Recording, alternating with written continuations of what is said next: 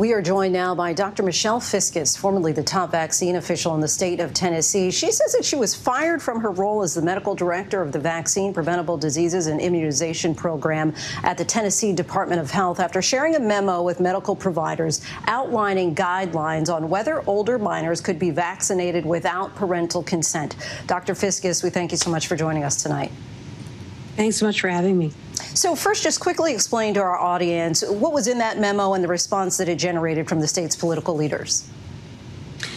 Thank you. Yes. So um, I had been uh, reached out to by several medical providers in the state that were providing COVID 19 vaccines. And this was just before the authorization of the Pfizer vaccine down to age 12. And they were asking, what do we do if a minor shows up to be vaccinated and they're not accompanied by a parent? Can we can we vaccinate them or not? And uh, so I reached out to the general counsel at Tennessee Department of Health and asked them for language around Tennessee's mature minor doctrine, which is Tennessee Supreme Court um, case law that went into effect in 1987, 34 years ago, that states that children who are ages 14 and older, if deemed mature enough to make the decision by their medical provider, can elect to um, have medical treatment without the consent of their parent.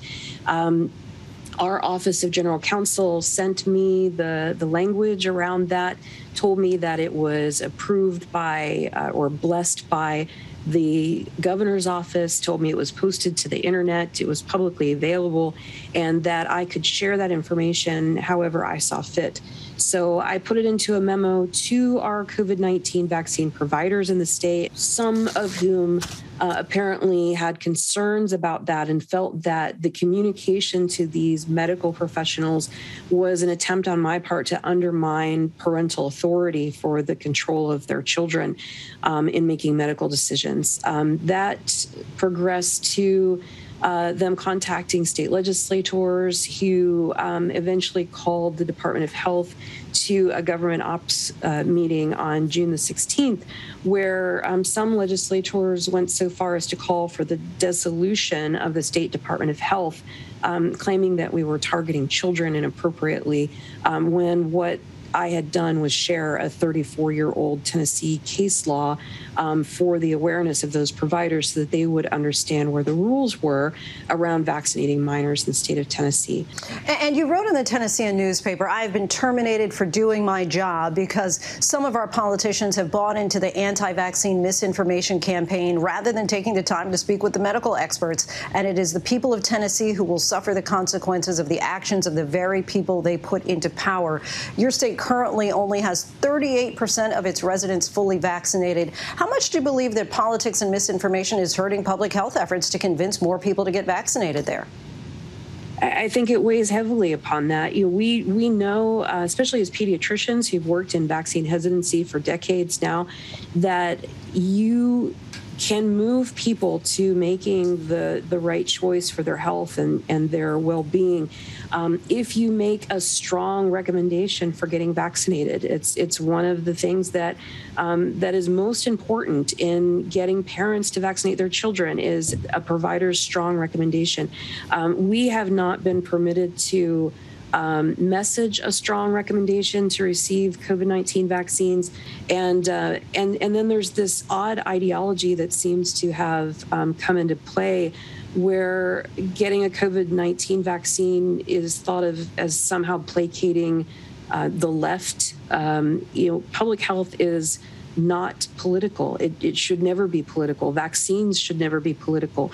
This is public health. This is doing what is best for the public good. And um, and unfortunately, politics is has really um, seeped into um, this entire response. And, and doctor, you have said, "I am afraid for my state." What are you most afraid of for? with our state's poor vaccination rates, which is not because of access to vaccines, but because people are unwilling to get them, what we're going to see is increasing cases, especially as new and more infectious variants like the Delta variant um, evolve in this pandemic.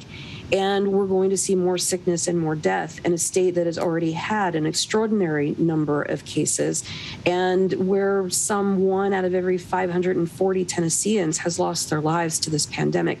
Every death going forward is preventable And it's only through getting those vaccines that we're going to see that happen. And until um, we get that message out to people and start encouraging them to get vaccinated and explain the importance of that, we're going to continue to see people die needlessly. The Tennessean has also reported that the state health department is now halting all vaccine outreach to children, not just for COVID vaccines, but vaccines of any kind. We've reported on the decline in childhood vaccinations during the pandemic. As a public health expert, just explain what kind of impact that could have on your state to not have this kind of outreach on immunizations.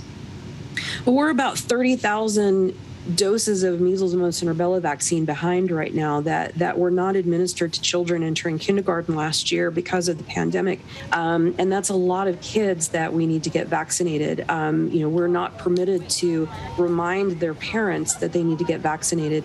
We also had a huge reduction, 67% reduction in the number of HPV vaccines that were provided to adolescents just in April of last year compared to 2019, um, and so the the toll of um, of the inability of public health to do the work of public health because politics has um, gotten in the way and begun to obstruct this access uh, for Tennesseans um, can result in not only outbreaks of highly infectious diseases like measles, diseases like measles, but you know even impacts individuals maybe 20, 30, 40 years down the road um, with diseases that we could have prevented right now. Just talk about the broader atmosphere facing public health officials right now, especially in states like yours with higher rates of vaccine hesitancy.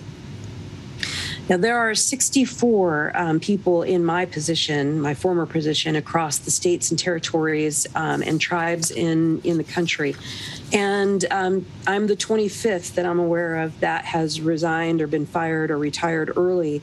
Um, from that post just over the course of the pandemic. And so, um, you know, for the, the other 24 individuals that were in my role and for those that remain, um, I have been provided a platform to speak out in, in support of public health um, and tell the American people how um, politics is getting in the way of protecting and uh, and promoting the health and well-being of, of the people not only in Tennessee but in other areas of the state and how morale amongst public health officials um, who always have what's best for the people that they serve uh, at their heart um, is just historically low at this point, and we're going to continue to lose really good career people um, as a result of this, and uh, and I just I think that's tragic. Um, so I, I, very much appreciate the opportunity to to speak with you and share that message, and uh, I really hope that things can turn around